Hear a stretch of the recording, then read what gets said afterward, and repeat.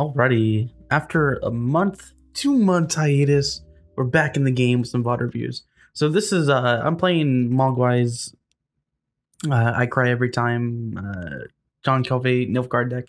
It's pretty good. It's a typical, fairly typical spine deck with a pretty big win condition and Rain, uh, Rainfarn into uh Joachim into uh Brig- the brigade guy, the guy who hits the spies. But anyway, so that's not the point of this. So the point of this is I, w- I just want to call out some particularly big mistakes that uh, both I made and my opponent made.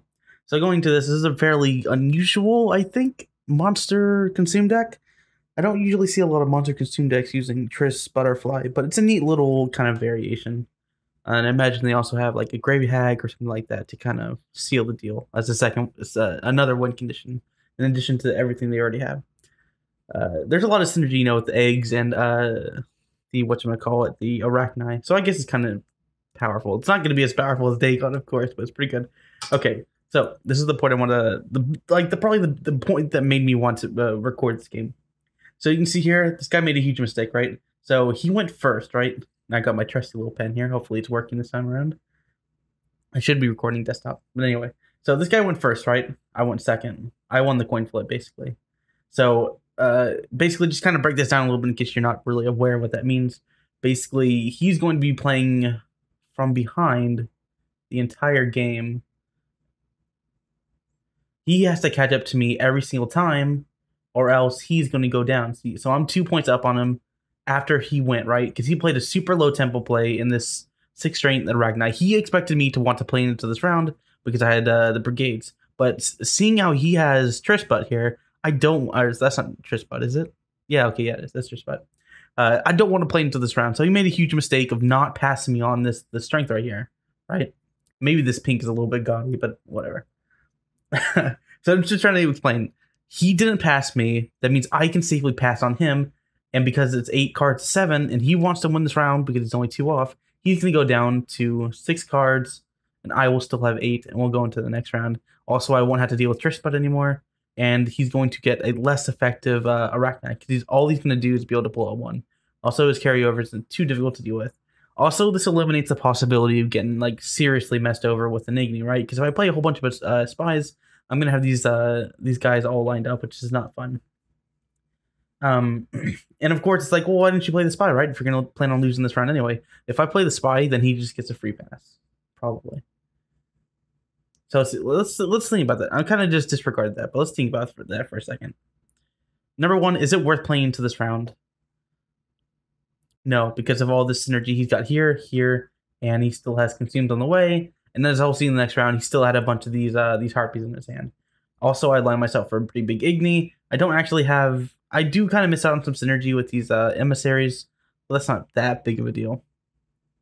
Also, these uh, the big thing is that the emissaries are going to help me bring out. Um, huh. Actually, I was just about to say they're going to help me bring out rot tossers, but rot tossers doesn't really matter if he doesn't have Crisput anymore.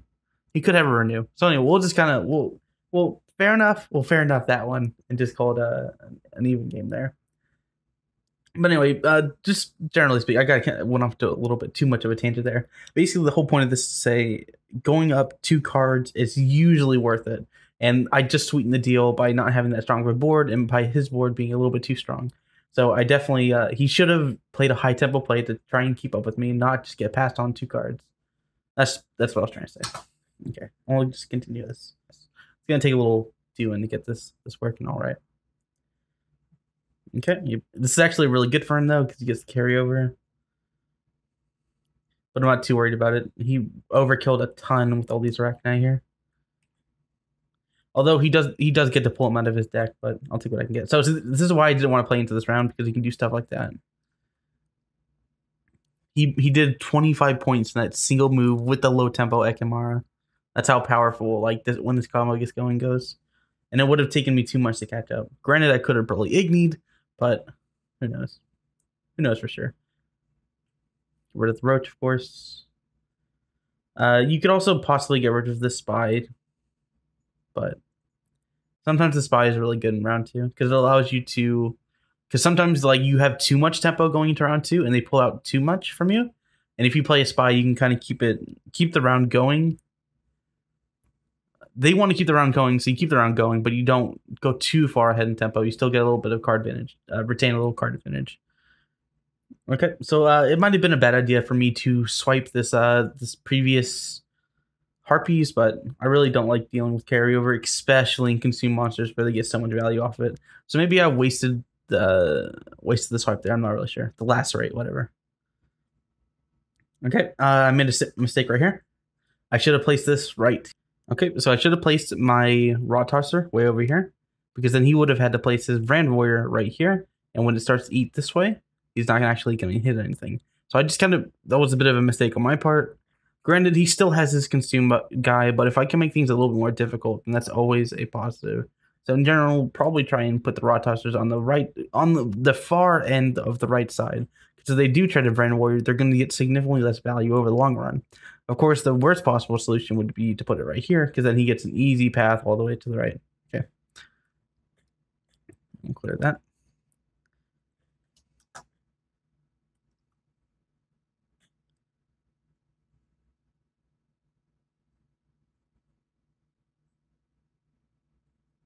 Also, I made a mistake right here. Kind of a minor one, but if uh, I shouldn't have placed this guy right here. I should have placed him on this row up here.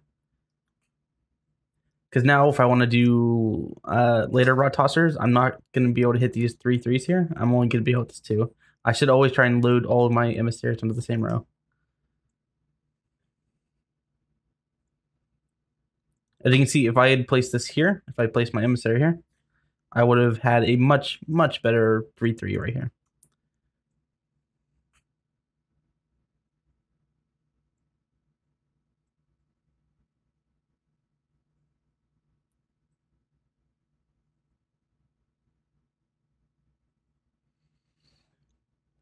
Okay, he's just gonna eat his eggs and then eat the rot tosser. It ended up not really mattering where I put that rot tosser, that, that cow carcass, but again, if I can just if I can oh like the high EV play is to always put the rot tosser on the far right of the row every time. And the high EV, if you don't know what that means, it's high expected value. At least that's what I take it to mean. It could mean so completely different, but that's how I take it. And the high EV, it's not necessarily it may not have necessarily high EV doesn't mean necessarily right or wrong in that situation. It just means what is usually best. Okay, and that's a high EV play. And if you are always if you are always doing high EV plays, you will get better. And as they kind of point out mistake my emissary right here, it's completely blocking my path to get three three threes or three threes. I've been playing too much Hearthstone lately. I watched the latest the the whole big reason I take a hiatus was for that expansion, which is really fun. Okay, so this is looking pretty pretty bleak, right? And this is where like kind of my mistakes kind of like start my mistakes my mistakes start to ramp up, right? So I made a really big, good play of going two cards up in round one and denying his Arachne value and denying uh, some egg value and denying Trispa value. Um, and I kind of, you know, messed up my own value with Impera Brigade. That's not the big deal. I have three of them anyway. Um, so I messed up first by not placing the right all the way to the right, which kind of could have been bad. Uh, second mistake, I could have put the emissary on this row. Now I'm only going to get two instead of nine. And I'm pretty sure I make a couple more mistakes here coming up here pretty, pretty soon.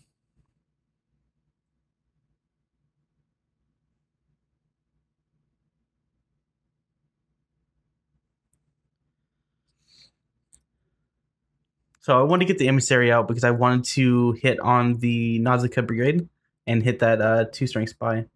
I don't hit it though. I only hit the standard bear and the ambassador. I'll go ahead and go with the ambassador because at least I can get two more value. And since I don't have to worry about Igni, I don't really care about putting it uh, anywhere specifically. Although generally speaking, the high EV play is never placed on this uh, this one strength uh, novice or whatever he is medic. Uh, one, because if your opponent is running uh, Becker's Twisted Mirror, you have uh, an in on that. You have a, a, a chance to get it. And two, uh, if you're playing Vilgefortz, you always want to uh, have like a very low strength unit like this one, this one uh, strength unit to hit with Vilgefortz instead of a four strength Roach.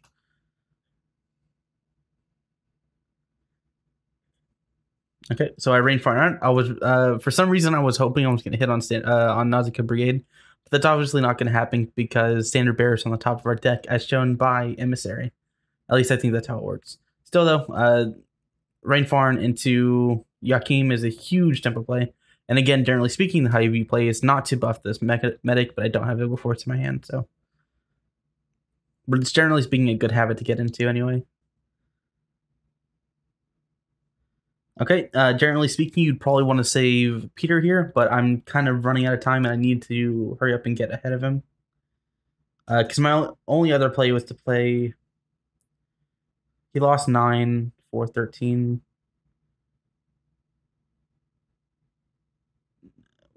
Thirteen, yeah, okay. I could have played uh, Assire, but whoops. Ah, double clicking on this brings down full screen.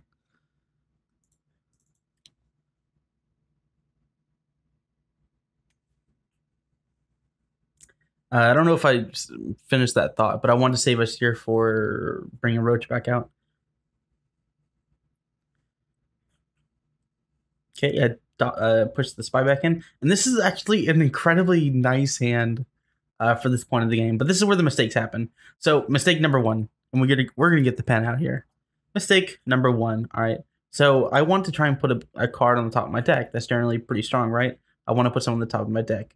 Uh, but the thing is, I have Assire, which means I can put any card I want back in my deck and then put it back. So step one and then step two. But instead, I got it backwards. I kind of got caught up in this, like, oh, it's a 10 strength gold. It's so strong. And I just put whatever card I want on my deck for Vilgefortz. Actually, it should be one, two, and then three. But instead, I went. instead, I went two, three, and then one. Or I went two, one, three, and three. But anyway, that's getting, that's getting messy.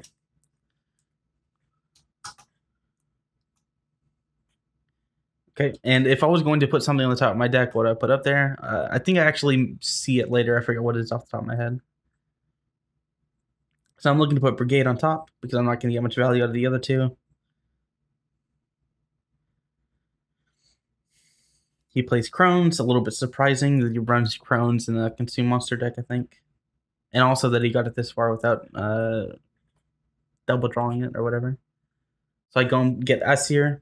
Uh, what I could have done is put Yakim in the deck, uh, or back in the. Okay, that's what it was. It was supposed to be Yakim. I want to put Yakim back in. And now I'm trying to fruitlessly put it back in, but I'm not to be able to draw into it.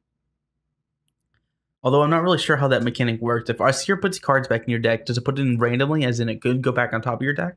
Or is it completely. Uh, or does it go like just in the middle or at the bottom? That's interesting. I need to look that up later.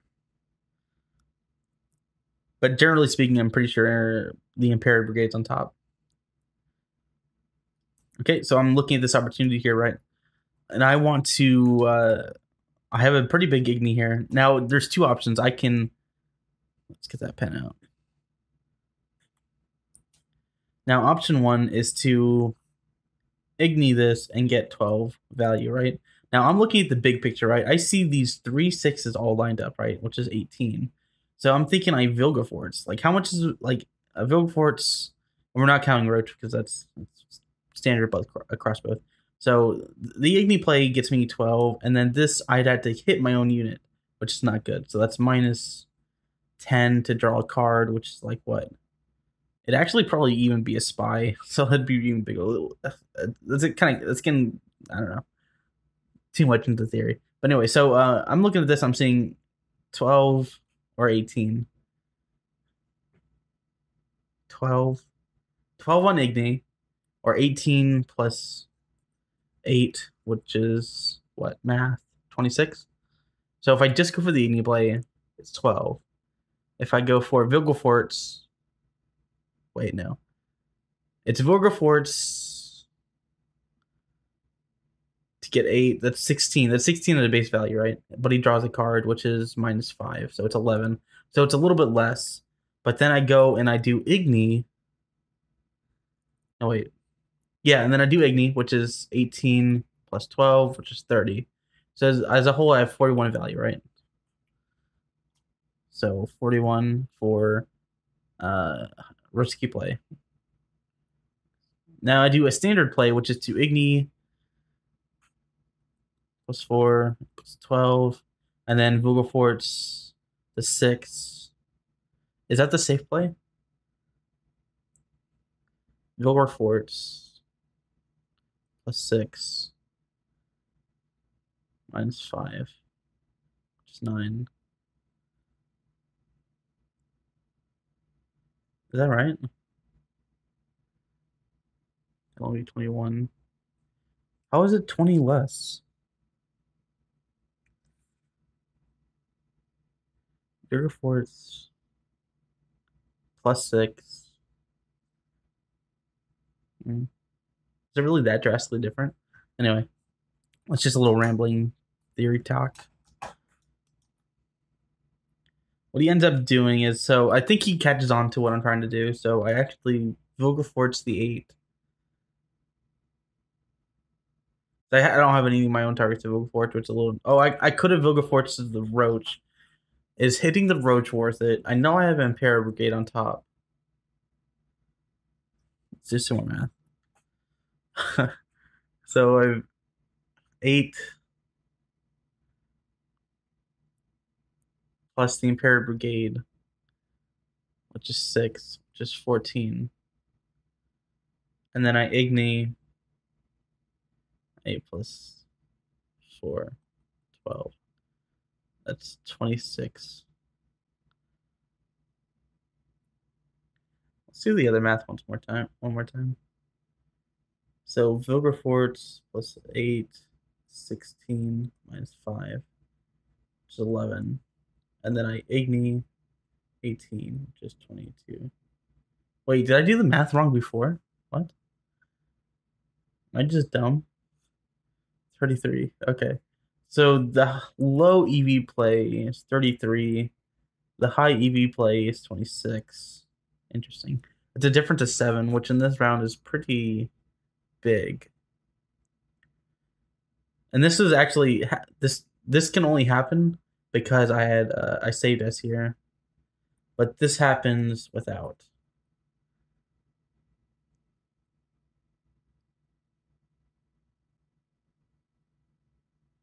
But really, this all could have been like made so much better if I just uh if I had one started with Assire, put Roach plus Yakim. So I do Assire. I put uh I don't know what the sensory guy is called, so I'm just gonna call him uh call him FP and then I put what do I put on the top of the deck? I would have to see it. I think if Yakim. No, but see the thing is, right? Wait, can Yakim pull disloyal units? Can it pull a spy? Otherwise, what was on the top of my deck? It was a Nausicaa Brigade. Oh, oh my gosh! So I put, I put Yakim at the top, and then it follows into Nausicaa Brigade. I'm just gonna scribble this. Okay. So I put Assire, Roach, and Yakim. But what if Roach disrupts that draw? We'll, we'll just assume for a second that it doesn't. Then I go into Fidget Spinner guy. that's what someone called him the subreddit. It's not what I call him. And then I put Yakim on the top, and Nausicaa Brigade, as I saw before, was on the top of my deck as it is. And then I do three, which is to Vilgefortz, whatever it's called, FF and then I hit Roach because it pulls Roach out of the deck. Okay, so it doesn't even matter if Roach was somewhere on the top because I'm going to Vilgefortz the Roach anyway and pull it out. And then it goes into Akeem, into Nausicaa, which is like 20 value or something like that. And then I finish with Igni. Yeah, so it's Assire, Roach, Yakim, Fidget Spinner, Yakim on the top. Vilgefortz to hit Roach, which brings out Yakim plus Nausicaa Brigade.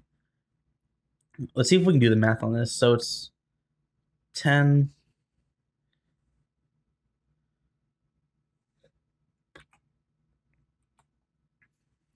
So it's Assire, which is 10.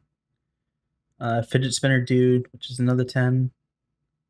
Uh, Vilgefortz, which is 8. And Yakim, which is minus five, but it gets canceled out by Nausicaa Brigade, which I think goes up to 19. and then I hit Igni plus four plus eight. Uh, so it's 20, 28. This is 12. This is 40. Wait, is that 40? Yeah, it's 40. And then this goes up to 59. So I would have had 59 in points. Or I would have had a 15 I would have had a 59 strength uh advantage gained. How much of that was killing his units? Minus 8, right? So I would have been at 51 strength here. I would have been at 51 instead of 36. anyway, so yeah, that was my huge ginormous mistake. So it, basically, this whole game was this game was like completely and utterly, totally winnable. Oh, shift. Yeah, because I started off by going up and by two card advantage. They should have won me the game right there. Just going up two card advantage against uh consume monster, right? Because they lose their they they, have, they take a long time to get their tempo going. And if I can just like two uh get that two card advantage, he's not gonna be able to prolong the the rounds very long. And also, he doesn't want to fight round two, so I can quickly go into round three. Really, he should have given up round two immediately because he had 11 strength Ekimar. I think was he trying to two round me? How can you two round someone on uh minus two card advantage against like the likes of Nilfgaard? Who could you even two round in his position? I think if he had his full engine going, he might have been able to. Maybe, maybe he had the he was trying to bleed me out, but he had a, an extra crone in his hand, and he had to put it back. He should have just, but then, because generally speaking, you don't want to like saving crones for round three is a really risky proposition. He had to have in his hand, or else he would have just played him, right? Because that just would have improved his draws later. But generally speaking, Consume Monster wants to make the rounds long so they can get the engine going and start getting Arachni. And he has an Arachni here. He already had it in his hand, I think.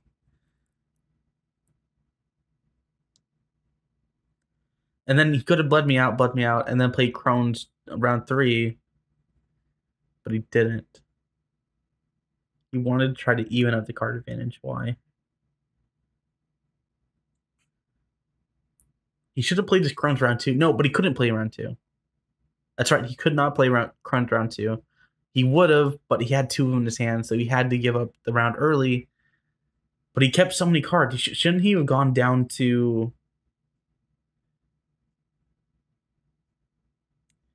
He should have gone down to two cards, which is the Crone and then the crone, and then he places one back. And then going into there, he has a crone and he has X card, which is hopefully not crone. and then he would have he would have been off he would have been way better off, right?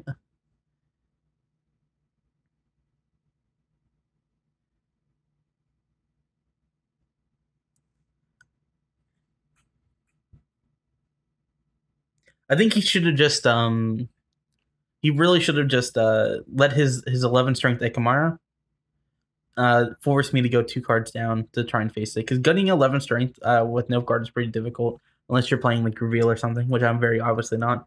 You can see a lot of Nilfgaard's cards guards are 10 strength. And like uh, also a lot of the plays are relatively low tempo. Like Nausicaa Brigade is a six. Let's say you play Emissary. Emissary minus two, Brigade plus six, plus two. That's only eight. Yeah, and if I had something like medic, medic is only like plus seven. Uh, not as good. Hmm. What if you went minus two, plus what is it like seven plus two, plus two, seven? No, that's only plus nine. It's only plus nine for Brig- Nausicaa Brigade. Yeah, he. Sh- I think if he had better knowledge of this, uh, of the deck I was playing, he would have passed, and then he would have gone to. Uh, he would have evened out the card advantage with Sekamara, because uh, eleven strength is really difficult to hit. But then I, well, I guess I could have played like something that's a little bit, a little off kilter, like a, a Triss Marigold or something. A Triss Marigold gets me a plus twelve. But uh, one, not many people run Triss Marigold, and two, hitting 12 is pretty difficult in a lot of cases. even still, even if I was able to pass it, it would have to be with something like a Geralt, right? Because Geralt's plus, plus 13. But again, that's also unusual. Yeah, so I went two cards up because I, I capitalized on him his mistake, but he should have capitalized on his advantage by forcing me two cards down to deal with that Ekimmara in most cases. Because that's the high EV play, I think. And then going into round three, because he can't play round two. We already discussed that. So he has to get the Crone back into his uh, his deck, and also it reduces the chance of him drawing into it again, right? How much deck then does he have? No, I don't think it actually matters that much. And then he goes into round three, he gets all the way. He has, you know, let's say, uh, how many cards do you have at the start here? Uh, at the start of round two, I don't know. Let's say eight cards or something like that and then he has eight cards to get. Because uh, I know he has a Vran Warrior in his hand now, right? He has a lot more room to get these consumes off. He wastes a lot of his consumes. Unless he was trying to really push for another Ekmar consume into round two, but he didn't. So yeah, he made some mistakes. I made even bigger mistakes. I'm surprised even like I'm not trying to bash on this guy or anything, but even even despite all of his mistakes, I still lost, which is weird.